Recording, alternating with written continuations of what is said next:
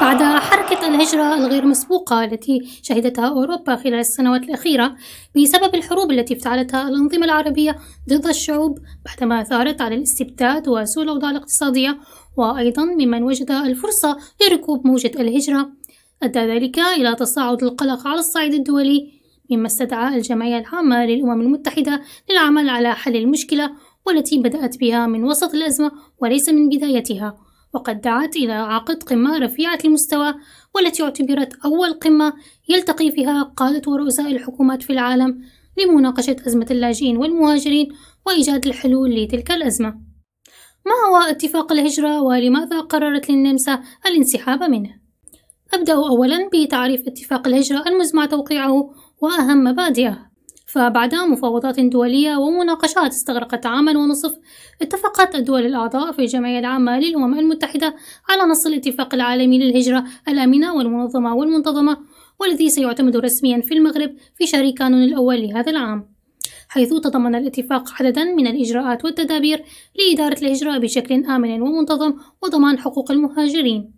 ونتيجة لذلك اجتمع 193 دولة من الدول الأعضاء في الأمم المتحدة في نيويورك في التاسع عشر من أيلول لعام 2016 أعلن فيه الرؤساء التزامهم بالمفاوضات حول الاتفاق العالمي للاجئين والاتفاق العالمي للهجرة الآمنة والمنتظمة.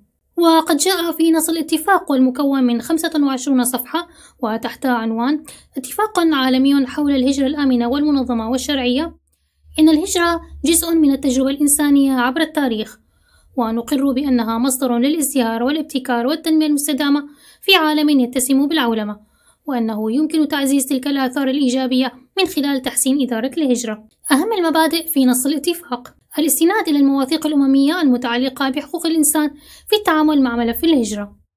الاعتراف بالسيادة الوطنية أي يحق للدول تحديد سياستها الوطنية حيال الهجرة. التعاون الدولي للحد من الهجرة الغير نظامية وضرورة السيطرة عليها وتنظيمها. التنسيق المشترك ضد عمليات التهريب والإتجار بأرواح البشر. إجراءات ملموسة يمكن من خلالها دعم الحكومات المضيفة في حال واجهت أزمة لاجئين دعم بلدان المنشأ للعودة إليها بأمان وكرامة. وبالرغم من أن المشروع يحفظ سيادة الدول مع الاعتراف بأنه لا يمكن لأي منها أن تواجه قضية الهجرة بمفردها إلا أن هناك بعض الدول قررت الانسحاب من الميثاق العالمي للهجرة حيث في نهاية عام 2017 أعلنت الولايات المتحدة عزوفها عن المشاركة في وضع هذا الميثاق وذلك نتيجة لسياسة الرئيس الأمريكي دونالد ترامب حيث قال أن الميثاق يتضمن نقاطا تتعارض مع السياسة الأمريكية حيال الهجرة. كما أعلنت هنغاريا في الثامن عشر من تموز انسحابها أيضا قائلة بأن الاتفاقية العالمية تشجع ملايين الناس على الهجرة. مما يشكل خطرا على العالم. وبذلك فإن هنغاريا تعلن وبوضوح أنها لا ترى في الاتفاقية أي وسيلة للتقدم إلى الأمام بل هو خطر على العالم. كما أعلنت النمسا في الواحد والثلاثون من شهر تشرين الأول عن انسحابها رسميا من ميثاق الأمم المتحدة المرتقب بشأن الهجرة. وأكد المستشار النمساوي سيباستيان كورتس ونائبه هاينز كريستيان شتراخه أن النمسا لن توقع على الوثيقة أو ترسل ممثلا رسميا لحضور قمة مراكش وذلك بسبب المخاوف بشأن فقدان السيادة الوطنية على مسائل الهجرة واحتمال تضييق التمييز بين الهجرة القانونية وبين الهجرة الغير قانونية بالإضافة إلى أن الميثاق قد يحول الهجرة إلى حق من حقوق الإنسان والنمسا ترفض هذا الكلام. وأعرب الاتحاد الأوروبي عن أسفه لقرار النمسا واعتبر رئيس الجمعية العامة في الأمم المتحدة أنه لا ينبغي النظر إلى الميثاق على أنه تهديد. وقال إن الوثيقة يجب أن تعتبر أول منصة للتعامل مع ظاهرة الهجرة في العالم.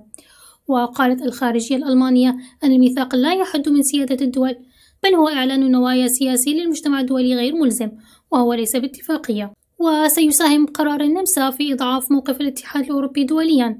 إذ لن تستطيع بروكسل التوقيع عليه باسم الدول الثمانية والعشرون وذلك بسبب معارضة بعضها مما يعني أن العواصم التي ترغب بذلك ستوقع عليه بشكل فردي. وما تزال هناك بعض الدول والحكومات تضغط وتحاول التنصل من تلك الاتفاقية. يذكر أن هذا الميثاق يعتبر أول وثيقة دولية تم التوافق عليها منذ شهر تموز الماضي لإدارة ملف الهجرة واللجوء بشكل جماعي. ومن المنتظر تبنيها في العاشر والحادي عشر من الشهر القادم في مدينة مراكش المغربية. ويبقى السؤال المفتوح هنا ما الذي ستبني عليه النمسا من قرارات جديدة على ضوء عدم توقيعها للاتفاقية؟ سؤال ستجيب عليه الأيام القادمة. شكرا لمتابعتكم. ألتقيكم في مختصرنا المفيد القادم.